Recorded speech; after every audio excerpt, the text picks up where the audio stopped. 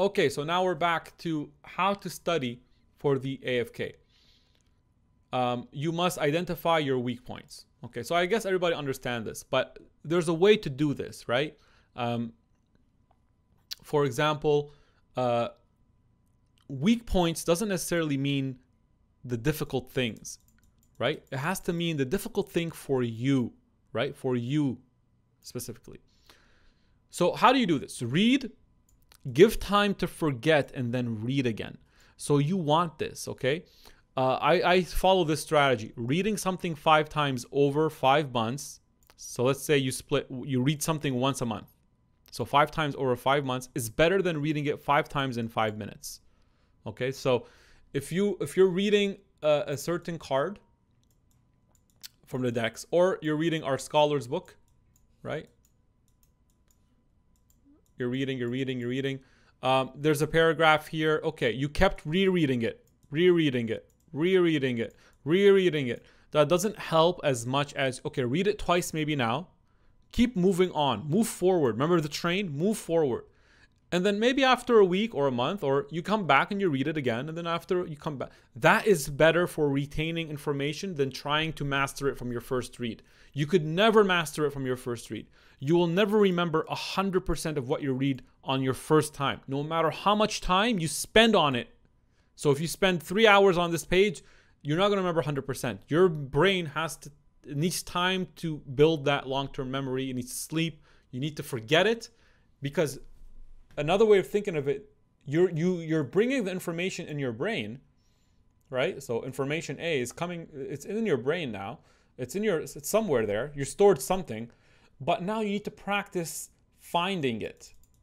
And that's what we help you do as well with the way we ask questions in pharma. So you need to, and, and the more you practice recalling the information, the more easier it is to recall the information instantly when you need it. Okay? And it's hard to recall information without a trigger. So you need to make a trigger. A trigger means maybe a question uh, or a word. So questions trigger the information. Okay. So what I recommend is go through 15 pages quickly, then read them over again. That is better than reading one page over and over again. So, you know, go through 15 pages, maybe then go back. A technique I actually used while I was studying is I took 10 cards and I promised myself that I would read these 10 cards uh, once each only. So I'd read once. Uh, I already had questions made and things on them. So they're already triggered uh, with, I already had like little trigger points. So I read them once and then I come back and review them quickly and see what I remember. And then I would be surprised. Wow, I remember more than I thought from just reading once. So isn't that interesting? What happens is that you read it once now, from your first reading, you feel you need to test yourself. So you don't have confidence that you remembered, right? So what you do is you go like, how do I test myself now? Let me read it again. And then you need to put some sort of system to test that you remembered, right? And if you do that with each card, it just takes a lot of time. So what I noticed is that reading it once helped me even with memory. So I don't need to put the system to test you know um, obviously the, the, you might need to do that a little bit depends but what i used to do is read it once read it once read it once and then come back and then test my system um, because that way i actually uh, it just it just save time okay creating questions are good triggers as well okay so how do you study on your first time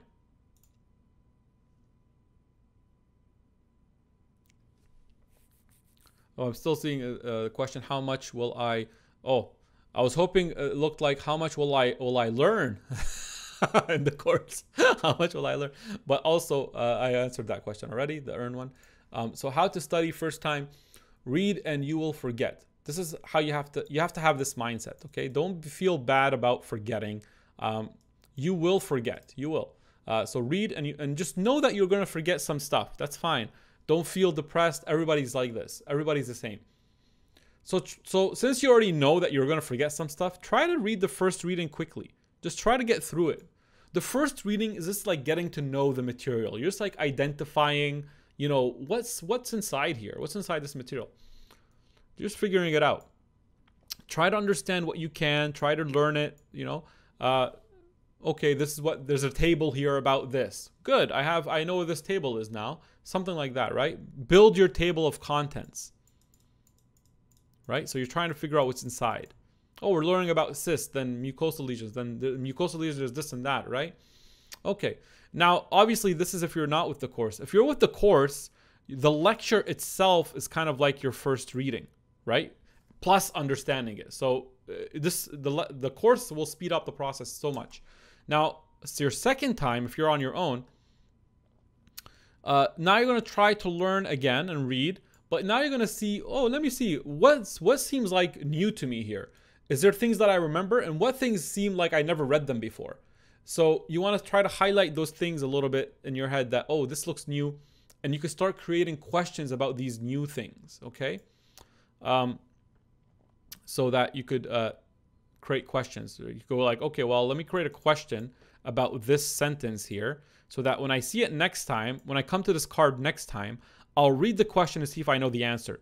So a good strategy is that you place a system in your second time, you place an evaluating system.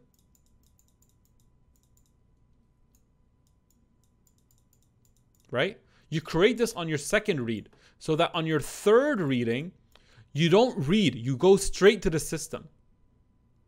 This saves so much time later on, okay? Um, because if you if you need to read every single time the whole card, plus evaluate yourself every time you come to read, okay, so if, if the dental decks part two took you eight months the first time, it's just going to take you eight months the last time as well. The same content is there. It's still going to take you time to read it. Um, and you don't want to review, you need to review. I was able to read the entire decks in two weeks before my exam or three. Okay. Why? Because I created a, an evaluating system where, uh, and I eliminated, I'm going to show you what that means, eliminated things so that there's less to read.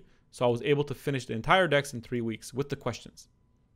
Okay, what's released. So, so when you get to your third time, you want to use the questions you created or take a peek at the card and see if you can remember any information. So you're trying to evaluate yourself now. So you're trying to trigger and see, will you remember anything? Now, if there's things you remember here, I think they might have became, I call it raw information or common to you. So let's say penicillin